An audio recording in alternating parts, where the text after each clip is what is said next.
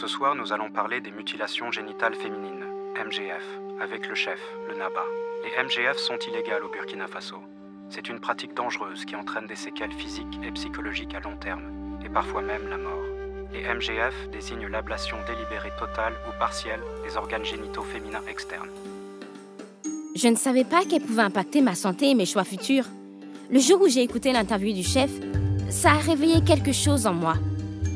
Je me suis demandé si elles étaient sensibilisées au MGF et si elles les avaient subies.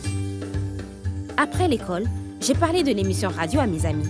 Comment les MGF continuent d'être pratiqués dans notre communauté en raison de la tradition.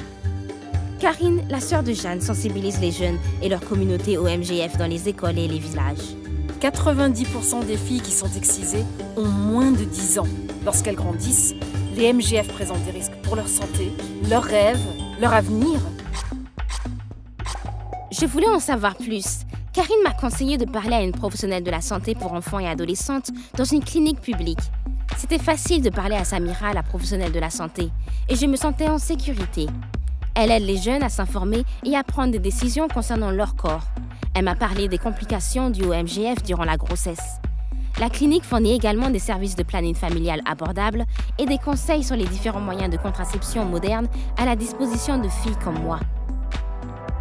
Quand je suis sortie de la clinique, j'ai décidé de mobiliser mes amis et d'organiser une soirée de sensibilisation au MGF dans notre communauté. Nous avons travaillé avec tout le monde, les jeunes et les moins jeunes, parents, amis, enseignantes, dirigeantes, garçons, hommes et femmes.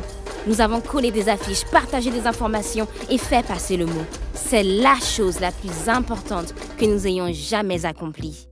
Et plein de gens sont venus. Le chef a présenté le film sur les MGF et nous a expliqué que les gouvernements locaux et les partenaires de développement travaillaient avec les villages pour mettre fin au MGF une fois pour toutes.